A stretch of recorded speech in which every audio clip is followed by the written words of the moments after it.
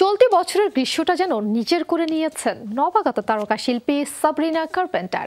তার নতুন album short and সুইটের প্লিজ প্লিজ প্লিজ ও এসপ্রেসো গান দুটি বিশ্বজুড়ে পেয়েছে তুমুল জনপ্রিয়তা। সম্প্রতি মুক্তি পেয়েছে গায়িকার ষষ্ঠ স্টুডিও অ্যালবাম। মুক্তির পর সমালোচকেরা বলছেন, অ্যালবামটিতে গানে গানে পুরনো প্রেমের গল্পই বলছেন পঁচিশ বছর বয়সী এই গায়িকা।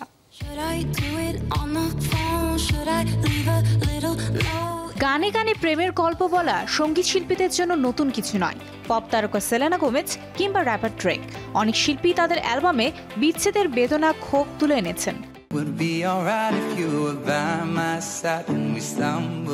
গত বছর ফেব্রুয়ারিতে কানাডীয় গায়ক শন মেন্ডেসের সঙ্গে প্রেম করেছেন হাল আমলের তারকা সাবরিনা কার্পেন্টার। সম্প্রতি প্রকাশিত তার নতুন অ্যালবামে পরোক্ষভাবে মেন্ডেস ও তার সাবেক প্রেমিকা কামিলা কাবিলোর কথা তুলে এনেছেন সাবরিনা। শর্ট অ্যান্ড সুইট নামের এই অ্যালবামের প্রথম গান টেস্টে সরাসরি ইঙ্গিত করা হয়েছে শনকে.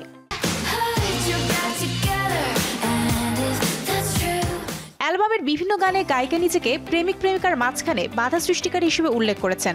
শন ও কামিলার দুই বছরের প্রেম দুই হাজার একুশ সালে শেষ হয়। দুই হাজার তেইশ সালে ফের এই তারকা জুটির পুনর্মিলনের খবর প্রকাশ পায়।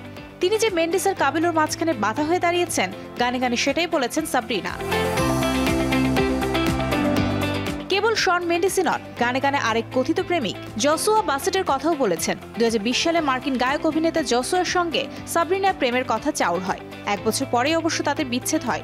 পুরো অ্যালবাম মুক্তির পর থেকেই ভক্ত থেকে সমালোচকদের ব্যাপক প্রশংসা পাচ্ছেন সাবরিনা। কিছুদিন আগে তার প্রশংসা করেছেন খোদ টেইলর সুইফট।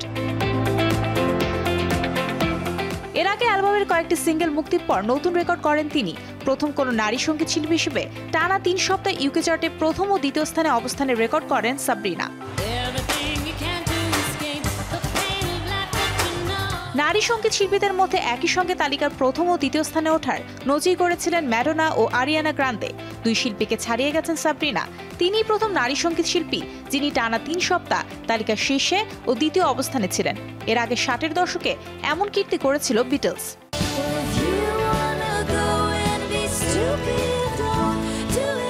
মারিও সেন শোবিস টুনাইট